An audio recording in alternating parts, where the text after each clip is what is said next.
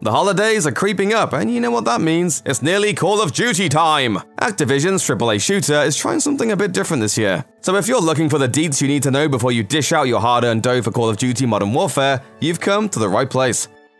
With an annual release strategy, the Call of Duty franchise rotates between a few different developers. Treyarch handled 2018's Black Ops 4, but the reins of Modern Warfare are back in the hands of Infinity Ward, along with additional development from Beenox and Raven Software. Infinity Ward created Call of Duty back with the 2003 original and have handled several games since. Their most recent was Call of Duty Infinite Warfare in 2016. Infinity Ward's position as Modern Warfare's developer is significant because this game is not a true sequel, but a reimagining of the past Modern Warfare games, which are what made Call of Duty the worldwide phenomenon it has become. Infinity Ward also developed the original Modern Warfare game and its direct sequels, so they have experience on their side. Call of Duty Modern Warfare will release for Microsoft Windows, PlayStation 4, and Xbox One on October 25, 2019.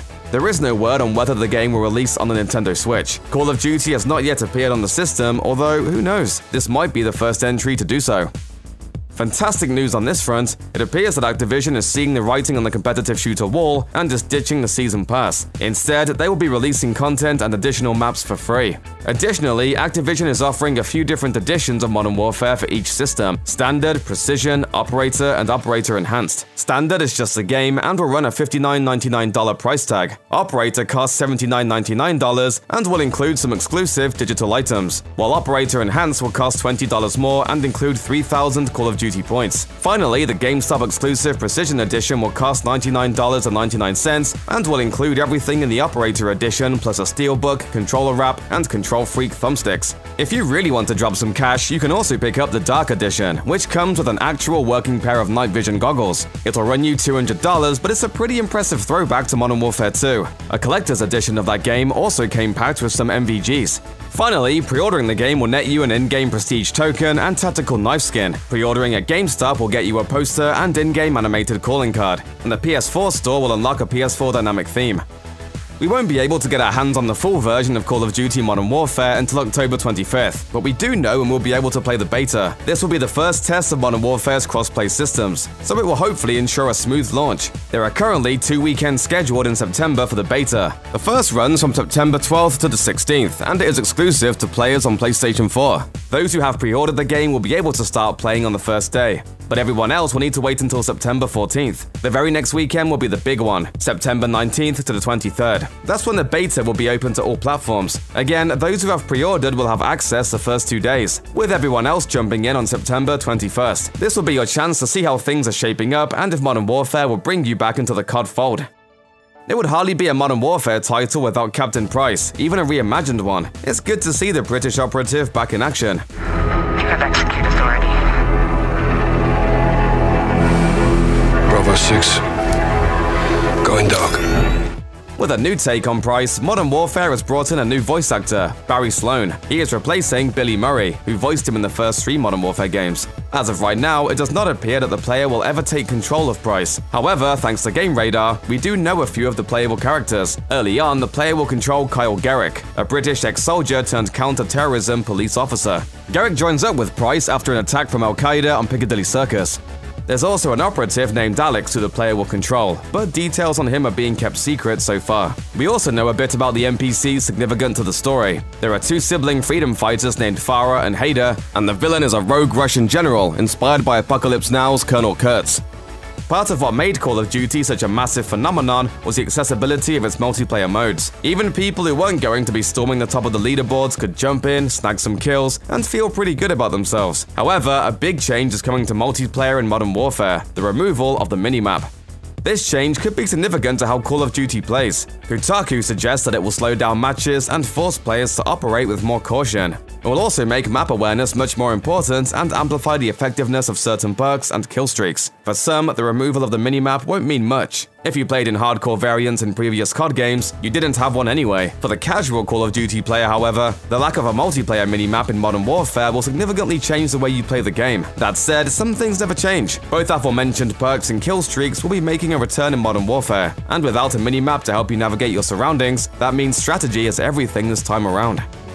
Modern Warfare will shake up things quite a bit from 2018's COD entry with its different ways to play. We know that the single player is returning after being gone for a year, which is nice to see. We also know that a relic from Modern Warfare games past is returning, Special Ops. Special Ops last showed up in Modern Warfare 3, created as a way for two players to enjoy campaign-style missions together. Special Ops will let you and your friend watch each other's backs as you complete objectives. It never gained the fervent fandom of zombies, but it's good to see it making a return. Speaking of zombies, they are nowhere to be seen in Modern Warfare, at least not yet. There has also been no indication that Blackout, Black Ops 4's take on the Battle Royale genre, will return. However, COD leaker The Gaming Revolution, who has a fairly good track record, claims that the Battle Royale mode will be featured in Modern Warfare. One new multiplayer mode that developer Infinity Ward seems very excited about is called Gunfight. It is designed to be hectic and fast-paced, and looks great for two friends trying to warm up before diving into the full-scale multiplayer. It could also be a blast to watch in professional competition, although it sounds like it may be a bit too randomized for the esports crowd. Gunfight places two teams of two players on a very small map. Rounds are short and loadouts are randomized, meaning you have to be proficient in a variety of strategies and be able to communicate well with your teammates. There is no healing and no reviving, meaning rounds can be over in a matter of seconds. Teams win a point in gunfight by knocking out the other two players, and the round's rules change if a round goes over 40 seconds. The first team to 6 points wins the match. It could get very competitive, very chaotic, and very loud in here.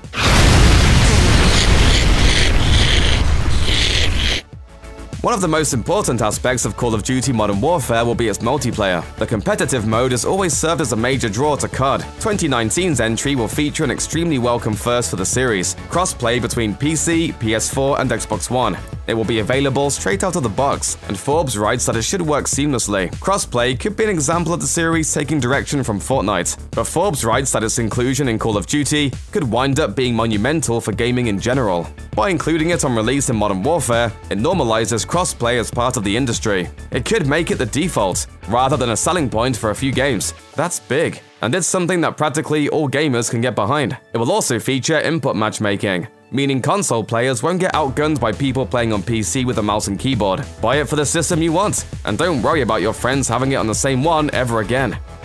We know Modern Warfare will not be a direct sequel to Modern Warfare 3, but it won't be a straight reboot either. Rather, it's being what's referred to as a reimagining, bringing classic Call of Duty sensibilities into the modern age. It makes sense considering the title. Besides, this is not an original concept in entertainment. Polygon notes that several popular franchises have used this approach in the past few years, including games like God of War, Doom, Tomb Raider, etc. This will help update and scale back some of the bombast in COD, and will also allow the plot to escape from the post-nuclear war point that it had reached. Modern Warfare will look to provoke its audience with a morally grey world. Taylor Kurosaki, the game's narrative director, offered this example. The world we live in is more complex than the one 10 years ago. Enemies often do not wear uniforms. As a result, civilian collateral damage is a bigger part of the equation. Translation, there's going to be some ugly moments in Modern Warfare. The trailer for Modern Warfare promises that you're watching actual in-game footage, and that's part of the hype surrounding COD's new entry. A brand new graphics engine will modernize the way the game looks, allowing all sorts of fancy new ways to show off. US Gamer has a rundown of a lot of the technicalities of this new engine, but here's the basic gist. It makes everything look real, real pretty. It will support 4K resolutions and DirectX ray tracing, meaning all of your fanciest equipment will be put to the test. It will allow for much better representations of lighting and cloth, and will feature, quote, advanced photogrammetry, a new hybrid tile-based streaming system, persistent volumetric lighting, physically based rendering, and more. For most of us, that technical jargon means little more than, uh, the game's gonna look pretty as hell. For a few people reading this, however, that's probably some serious pillow talk. Joel Emslie, Modern Warfare's art director, summed it up nicely, quipping, quote, we don't want to be the brown game anymore. Most Call of Duty multiplayer maps over the last decade have followed a similar design philosophy, basically symmetrical, with three distinct lanes leading to objectives and allowing teams to flank and set up ambushes. Infinity Ward's multiplayer design director Geoffrey Smith sat down with Game Informer to explain that Modern Warfare's design philosophy is taking a different approach. He explains that while great for balance, the three-lane symmetry made COD maps feel more like arena shooters. Modern Warfare is going for a more realistic interpretation of war, so his team is trying to disguise the lanes and make the symmetry more convoluted. To make the locations of objectives feel more realistic, the team instead used a new philosophy of hero buildings. Smith calls these buildings the, quote, power positions on the map, and they are used as the focal points, rather than the middle of each lane. Call of Duty Modern Warfare isn't looking to reinvent the wheel of multiplayer map design, But it is nice to know that Infinity Ward has heard some fan grumblings and wants to address some of the feelings of sameness that tend to seep into Call of Duty. Check out one of our newest videos right here, plus even more SVG videos about your favorite games are coming soon. Subscribe to our YouTube channel and hit the bell so you don't miss a single one.